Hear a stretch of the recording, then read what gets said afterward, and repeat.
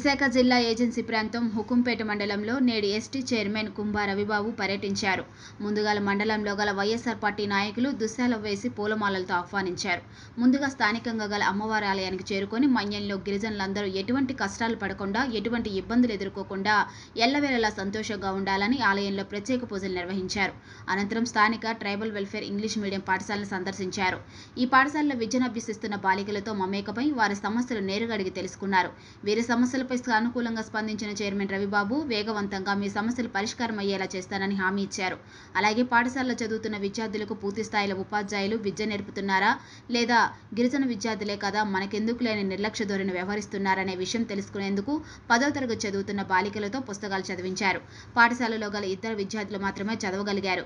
ఇంకొక ఇద్దరు విద్యార్థులు చదవకుండా మౌనవ్రతం పాటించడం మరియు గతంలో పాఠశాలలో విద్యా విషయంలో ఎంత పర్సంటేజ్ వచ్చిందని అడగగా తొంభై ఐదు శాతం వచ్చిందని ఉపాధ్యాయులు చెప్పారు. అదే విషయం పిల్లల్ని అడిగితే ఒకరు డెబ్బై శాతం అని ఇంకొకరు ఎనభై శాతం అని చెప్పడంతో అవాక్కయ్యారు. పాఠశాలలో విద్యార్థినులకు పెట్టే భోజనంలో నాణ్యమైన నిత్యవసర సరుకులు వాడుతున్నారా లేదా అనే విషయంపై స్టోర్ రూమ్లో తనిఖీలు చేపట్టారు. కొన్ని నాణ్యత లేకపోవడంతో ఇటువంటి పిల్లలకు పెడితే వీటి వల్ల గిరిజన విద్యార్థులు రకరకాల వ్యాధులకు గురవుతారనే విషయం మీకు తెలియదా అని ప్రశ్నించారు. ఆశ్చర్యకరమైన విషయం ఏమిటంటే స్వతహాగా కుంభా రవి బాబు తన ఫోన్లో కాయ కాయగూరలు స్టోర్ రూమ్ వీడియో తీసుకున్నారు.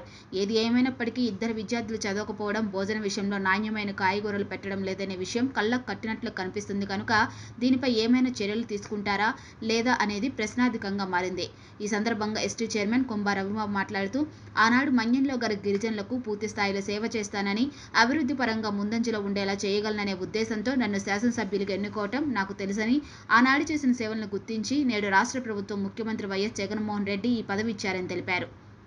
ఈ పదవి కూడా మీరు ఇచ్చిందే అనే విధంగా భావిస్తున్నానని మీ నమ్మకాన్ని ఒమ్ము చేయకుండా పూర్తి స్థాయిలో గిరిజన ప్రాంతాలు అభివృద్ధి చేస్తానని నాకు పదవి కన్నా గిరిజనుల సేవే నా జన్మకు ముఖ్యమని భావోద్వేదంతో తెలిపారు.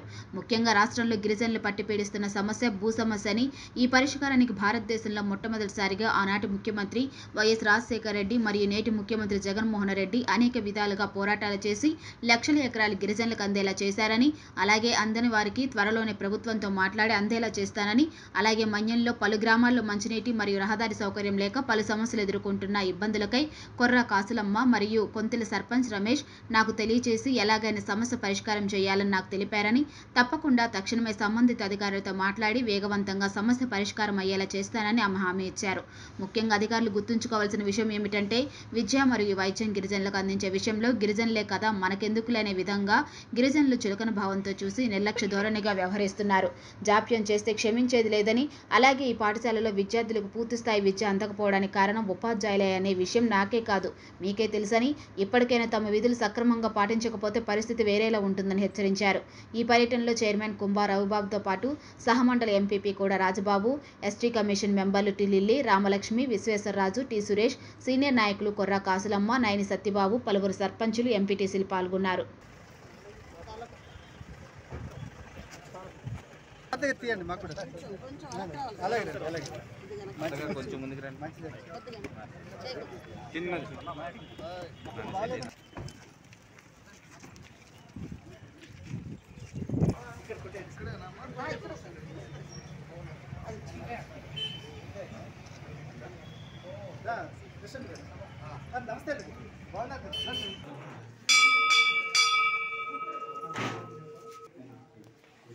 రా, కృష్ణ గారు.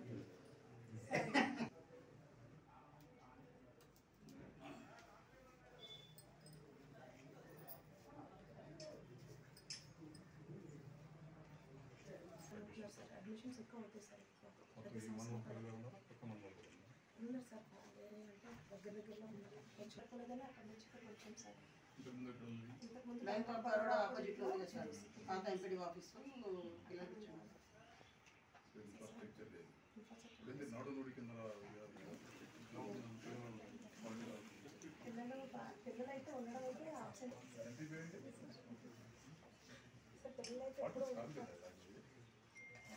పిల్లలైతే స్ట్రెంత్ ఉంటారు సార్ ఒక ఆబ్సెంటీస్ ఉంటారు సార్ ఎక్కువ స్ట్రెంత్ అయితే ఉంటారు కానీ ఆబ్సెంటీస్ తక్కువ ఉంటారు సార్. ఇంతమంది పిల్లలు ఈ ఒక్క రూమ్లో ఉంటారా? ఈ రూమ్లోనే పడుకుంటారు సార్. కొంతమంది ఆఫీస్ రూమ్లో కూడా ఓకే. అమ్మ. వ్యవసాయం చేస్తారు. ఎవరు చెప్పరా? బాగానే చెప్తారు సార్ ఆయన. లేదంట. Stretch that each to allow you to wrap your arms around right your good good మీ పేరేంటి? చదువు. భయపడకు.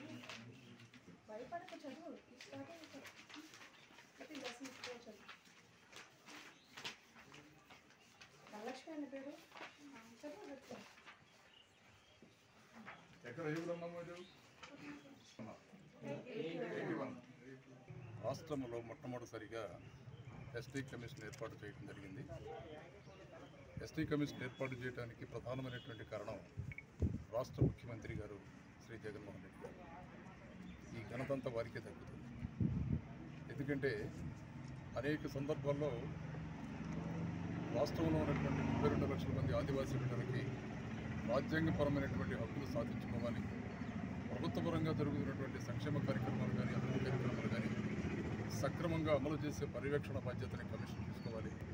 ఇవన్నీ జరగాలంటే ప్రత్యేకమైనటువంటి కమిషన్ ఏర్పాటు చేస్తేనే సంపూర్ణమైనటువంటి న్యాయం జరుగుతుందన్నటువంటి ఒక గొప్ప ఆలోచనతోటే ఆంధ్రప్రదేశ్ రాష్ట్ర చరిత్రలో ఆదివాసీ బిడ్డల కోసం సరికృతమైనటువంటి విప్లవాత్మకమైనటువంటి చర్యని జగన్మోహన్ రెడ్డి గారు తీసుకున్నారు.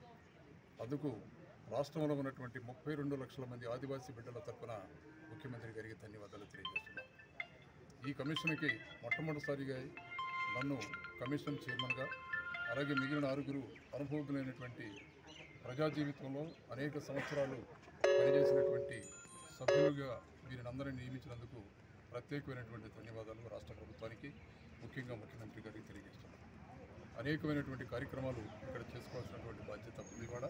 తప్పకుండా కమిషన్ అనేది సాయశక్తుల ప్రయత్నం చేసినట్టు కూడా మీకు పంపిస్తున్నాను. ఎన్నో కార్యక్రమాలు ఉన్నాయి.